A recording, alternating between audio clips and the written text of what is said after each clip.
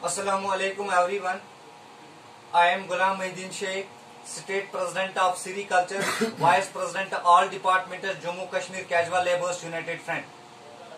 आज जो हमारी एसोसिएशन सेरिकल्चर के एसोसिएशन में एक खास तौर पर हमने इमरजेंसी मीटिंग बुलानी पड़ी हम गवर्नमेंट एडमिनिस्ट्रेशन एंड सेरिकल्चर के हायर अथॉरिटीज को ये बात बताना चाहते हैं जो ये 10-15 दिन से पहले हमारे worthy director of sericulture, mister Manzoor Ahmad Qadri साहब, हमारे डिपार्टमेंट से ट्रांसफ़र किया गया था उसको और एक ही महीने में उसको वापस लाया गया।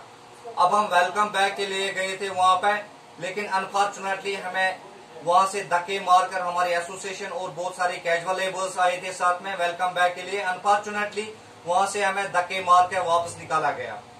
हम एडमिनिस्ट्रेशन से यही गुजारिश करना चाहते हैं रिक्वेस्ट करना चाहते हैं कि डिग्निटी ऑफ़ लेबर्स यही होती है।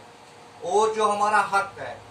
अगर हम अपने हक पे बात नहीं करेंगे तो हमारे हक पे कौन बात करेगा? और हम सेरिकल्चर डिपार्टमेंट में काम कर रहे हैं। ग्राउंड लेवल पे हम ही casual labours daily wagers seasonal labours काम करने वाले कैजुअल लेबर्स हैं। हमें ही आज इग्नोर क्यों किया जा रहा है? और हम पेंडिंग वेजेस के हवाले से बात कर रहे थे उनसे। उन्होंने बिल्कुल इनकार किया वहाँ से और इग्नोर किया हमें। हम worthy principal commissioner secretary of agriculture, sericulture साहब से रिक्वेस्ट करना चाहते हैं और साथ ही साथ गवर्नमेंट एडमिनिस्ट्रेशन से कि बराई मेहरबानी पर करके हम पे गौर फरमाए। और जो हमारे मसले हैं पेंडिंग वेजेस के हवाले से भी उनसे बात करने गए थे, उन्होंने इग्नोर किया और साथ ही साथ बहुत सारे फ़ोन कॉल्स आते हैं कि आपकी यूनियन और आपको हम अरेस्ट करेंगे। क्या हक पे बात करना है, ये कौन से? अगर मैं उसके काबिल हूँ तो मुझे एफ़ आई आर काट दीजिए। मुझे सेफ्टी एक्ट दे दीजिए। लेकिन मैं अपनी हक की बात करता हूँ, जो तीस, पैंतीस सालों से हमें दबाया गया है बाय द सेट डिपार्टमेंट चाहे हमारे पेंडिंग वेजेस के हवाले से हो, चाहे हमारी कंफर्मेशन फाइल्स के हवाले से हो, चाहे मिनिमम वेजेस एक्ट के हवाले से हम बात करने जा रहे थे डायरेक्टर ऑफ़ सेरिकल्चर साहब से। लेकिन अनफॉर्चुनेटली वहाँ से हमें धमकियाँ आ रही है पुलिस स्टेशन से मुझे बहुत सारे फ़ोन कॉल्स आते रहते हैं। पुलिस से ये फ़ोन करवा रहा है डीएसओ साहिबानों से ये मुझे फ़ोन करवा रहा है।